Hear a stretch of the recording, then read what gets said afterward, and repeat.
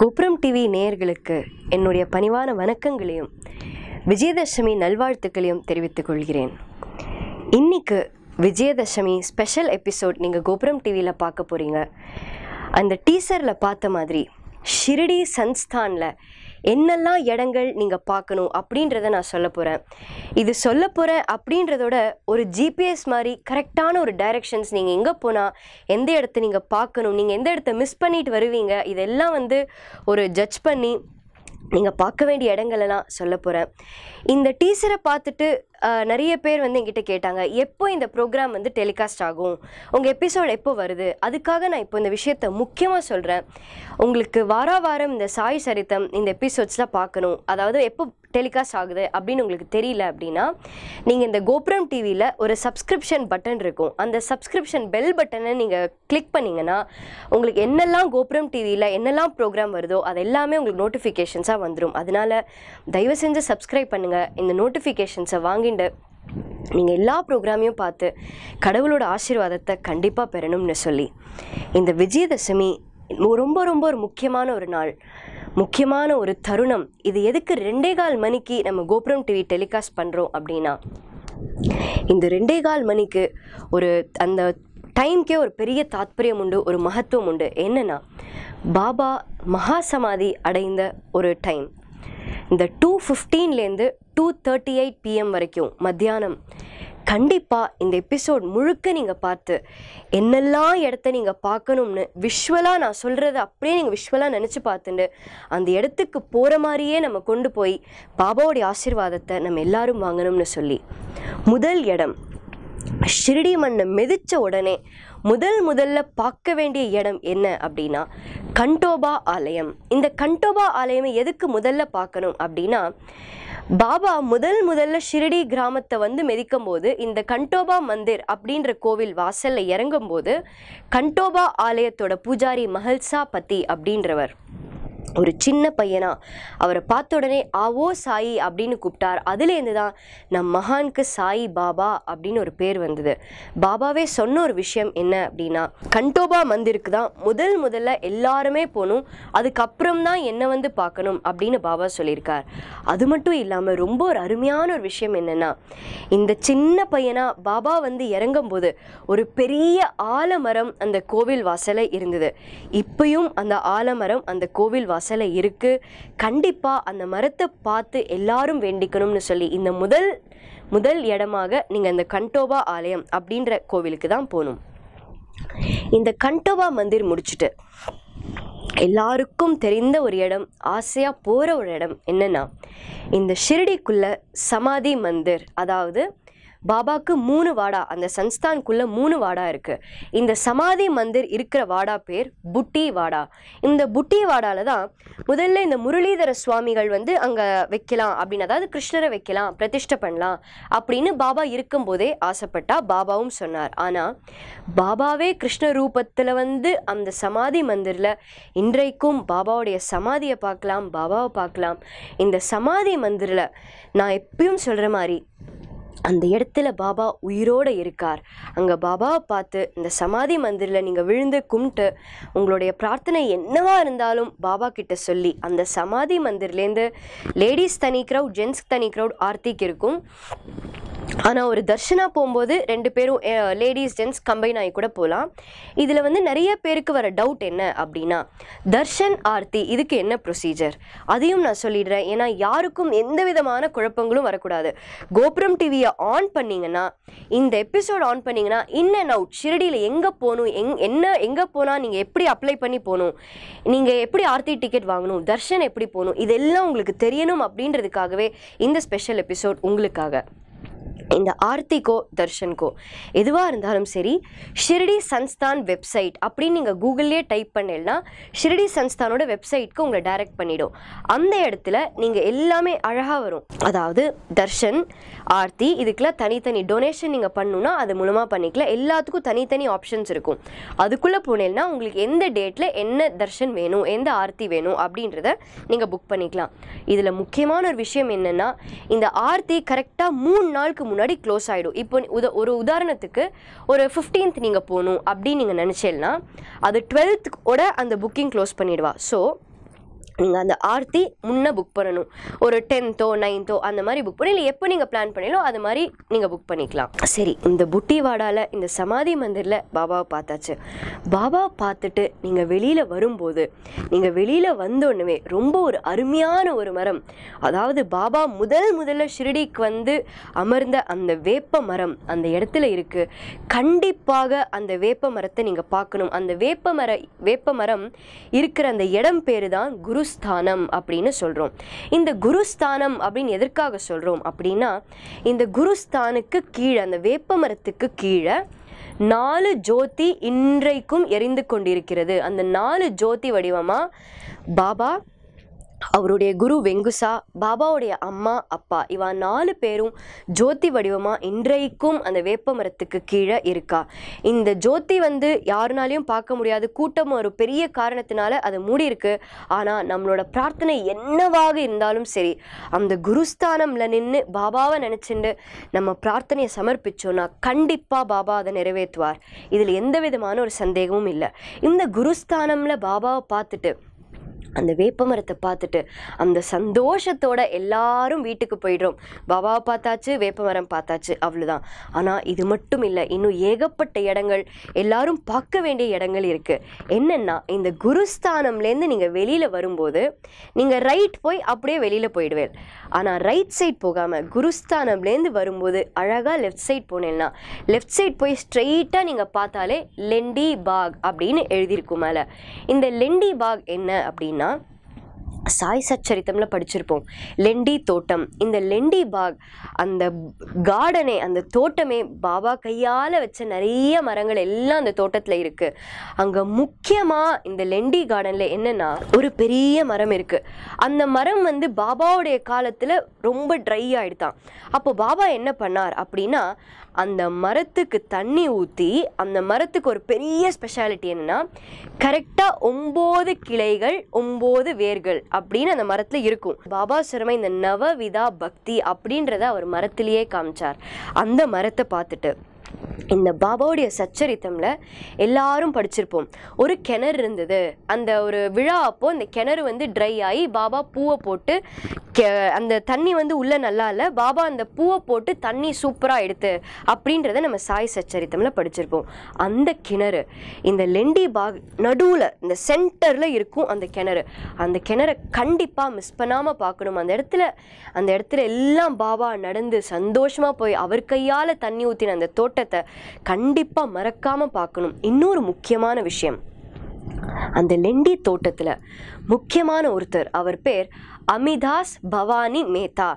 இவர் யார் அப்படின்னா ஏகப்பட்ட பாட்டு பாபா மேலே அவ்வளோ பாட்டு அழகழகாக எழுதியிருப்பார்.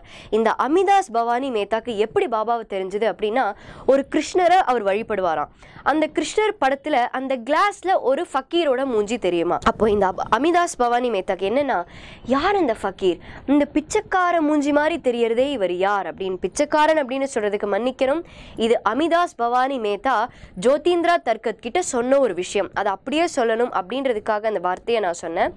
அந்த ஒரு ஃபக்கீரோட முகம் தெரியறதே இந்த கிளாஸில் அது யார் அப்படின்னு போய் ஒரு தினம் அவர் கிருஷ்ணரை வழிபடும் போது அந்த ஃபக்கீர் முகம் தெரியுமா?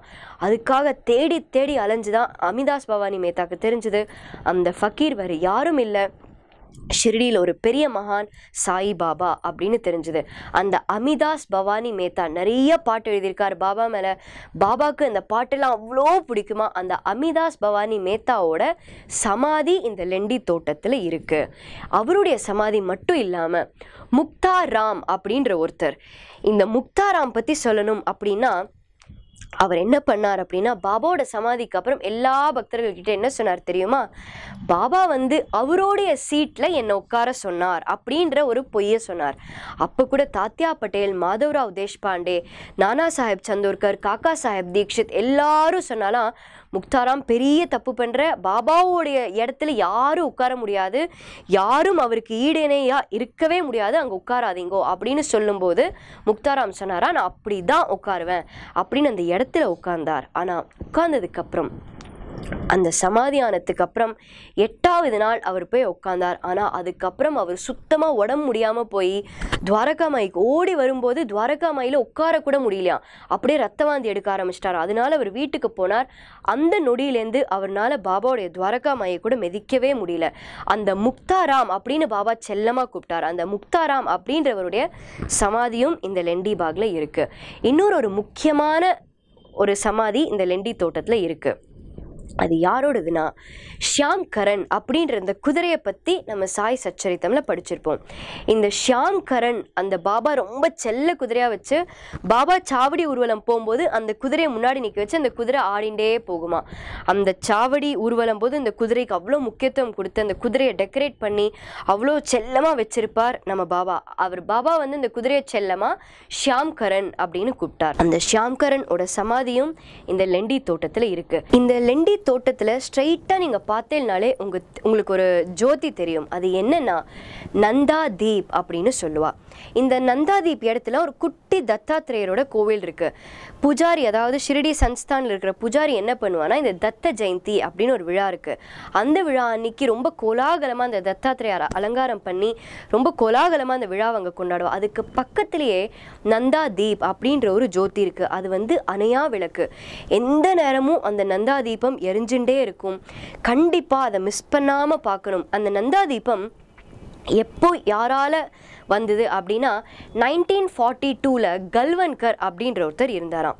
இவருக்கு வந்து ஒரு தீபம் ஏற்றி வச்சு அப்படியே வழிபட்டுட்டே இருப்பார். இவருக்கு என்ன தோணித்து அப்படின்னா சரி இந்த தீபத்தை சுற்றி ஒரு பிளாட்ஃபார்ம் மாதிரி கட்டினா என்ன அப்படின்னு ஒரு பிளாட்ஃபார்ம் கட்டினார் நைன்டீன் ஃபார்ட்டி டூவில் அதுக்கப்புறம் இன்றை வரைக்கும் ஒரு கிளாஸ் மாதிரி இருக்கும். அந்த கிளாஸ்க்குள்ளே இந்த தீபம் எரிஞ்சுட்டே இருக்கும். இது பாபாவுடைய அந்த காலத்துலேருந்து இன்னி வரைக்கும் அணையா விளக்காக இருக்குது அதை பார்க்குறதெல்லாம் பெரிய ஒரு குடுப்பினை அதனால் அதை பார்த்துட்டு அந்த தத்தாத்திரேயரை வழிபட்டுட்டு நீங்கள் அந்த லெண்டி பாக்லேருந்து அந்த லெண்டி தோட்டத்துலேருந்து வெளியில் வரும்போது நீங்கள் நேராக போனேன்னா நேராக போய் ஃபுல்லாக கேட் கிட்ட போகாமல் நீங்கள் நேராக போனேன்னா அதுக்கு லெஃப்ட் சைடில் நடுவில் ஒரு பெரிய ஒரு கேப் மாதிரி இருக்கும். அது லெஃப்ட் சைடில் போனேன்னா ரொம்ப ரொம்ப ரொம்ப முக்கியமான இடம் எல்லாரும் பார்க்க விடுற ஒரு இடம் என்னன்னா பாபா உயிரோடு இருந்த காலத்தில் அவருடைய கூடிய நெருங்கிய ஒரு பக்தர்களுடைய சமாதி எல்லாம் அங்கே இருக்குது ரொம்ப ரொம்ப முக்கியமான ஒரு இடம். அங்கே போனாலே நம்ம நம்மளுக்கு அறியாமல் கண்லேருந்து ஒரு அழுக வரும். எதனால அப்படின்னா பாபா கூட பாபாவை தொட்டு அவருக்கு பாதாபிஷேகம் பண்ணி அந்த பாத தீர்த்தத்தை குடித்து அந்த பக்தர்களுடைய சமாதி அங்கே இருக்குது யாரோட சமாதி அங்கே இருக்குது அப்படின்னா ஹஜி அப்துல் பாபா அப்படின்றவருடைய சமாதி பாவ் மஹராஜ் கும்பர் அவருடைய சமாதி. நானாவலி அவரோட சமாதி. விபி ஐயர் அப்படின்னு சொல்லுவா அவரோட சமாதி. அதுக்கப்புறம் தாத்யா கோட் பட்டேல். தாத்யா கோட் பட்டேலோட சமாதியும் அங்கே இருக்குது இவா அஞ்சு பேரோட சமாதியும் அங்கே இருக்குது கண்டிப்பாக எல்லாரும் இந்த சமாதியை போய் தொட்டு அங்கே வணங்கிட்டு வரலாம். இந்த தாத்யா கோட் பட்டேல் அப்படின்றவரை பற்றி சொல்லணும் அப்படின்னா இந்த விஜயதசமி அன்னைக்கு அவரை பற்றி சொல்லாமல் இருக்கவே முடியாது. தாத்யா கோட் பட்டேல் அப்படின்ற அந்த ஒரு ஒரு மனிதருக்காக தான் பாபா அவரோட உயிரை விட்டு தாத்யா பட்டேலை காப்பாத்தினார். நம்ம கோபுரம் டிவி சாய் சரிதம் எபிசோடில் இந்த சமாதியோட முழு லீலை அதை நான் சொல்லுவேன். ஆனால் தாத்யா பட்டேலுக்காக தான் பாபா அவரோட உயிரை விட்டார். ஏன்னா தாத்யா பட்டேலோட அம்மா பாய்ஜா பாய் அப்படின்ற அந்த அம்மையார் இறந்து போகும்போது பாபா கிட்ட சொன்னாலாம் பாபா என் பையனுக்கு எனக்கு அப்புறம் யாரும் இல்லை. நீ தான் அவனை காப்பாற்றணும் அப்படின்னு சொன்ன உடனே பாபா சொன்னாராம் என் உயிரை கொடுத்தாவது நான் உன் பையனை காப்பாற்றுவேன் அப்படின்னு கொடுத்த அந்த சத்திய வாக்குக்காக இந்த பைஜாபாயோட பையன் தாத்யா கோட் பட்டேல் அப்படின்றவருக்காக பாபா சமாதியாகி இந்த விஜயதசமி தினத்தன்னைக்கு அதாவது உடல் வந்து அவருக்கு உயிரோடு தான் இருக்கார். இன்னி வரைக்கும் பாபா உயிரோடு தான் இருக்கார். ஆனால் அவருடைய சமாதி நிலை அன்னைக்கு விஜயதசமி அன்னைக்கு பாபா அடைந்தார். அதனால் அந்த முக்கியமான மனிதர் பாபாவோட நெருங்கிய ஒரு நண்பர் ஒரு நெருங்கிய ஒரு பந்தம் தாத்யாகோட் பட்டேல் அப்படின்றவரோட சமாதி இவ அஞ்சு பேரோட சமாதியும் பார்த்துட்டு இந்த பக்தர்களோட சமாதி எல்லாம் நம்ம மனசார வேண்டிண்டு அந்த சமாதி கிட்ட போகிற மாதிரி நம்ம நினச்சிண்டு பாபாவை பிரார்த்தனை பண்ணிப்போம். நான் சொன்ன மாதிரி பாபா சமாதியான டைம் டூ ஃபிஃப்டீன் பிஎம்லேருந்து டூ தேர்ட்டி எயிட் பிஎம் வரைக்கும். நீங்கள் டூ ஃபிஃப்டீன்லேருந்து டூ தேர்ட்டி வரைக்கும் இந்த எபிசோட் நீங்கள் பார்த்துருப்பேன் இந்த டூ தேர்ட்டிலேருந்து டூ தேர்ட்டி எயிட் வரைக்கும் இது சமாதி ஆன டைம்னால் இந்த எட்டு நிமிஷம் பாபாவை ஆத்மார்த்தமான பக்தியோட பாபா சமாதி ஆயிட்டாலும் என்றென்றைக்கும் நம் கூட வாழணும் நம்மளை ஆசீர்வாதம் பண்ணணும்னு மனசார பிரார்த்தனை பண்ணி அடுத்த எபிசோட் ரொம்ப தூரம் இல்லை. இன்னும் அடுத்த ரெண்டே நிமிஷம் டூ ஃபார்ட்டிக்கு உங்களுக்கு டெலிகாஸ்ட் ஆகும். அந்த எபிசோடில் வேறு நிறைய இடங்கள் நீங்கள் பார்க்க வேண்டிய இடங்கள் நீங்கள் விட்டு போன இடங்கள் எல்லாம் நாம் பார்ப்போம்னு சொல்லி. அடுத்த எபிசோடில் நான் உங்களோட நேரன் நன்றி வணக்கம். ஓம் சாயாம்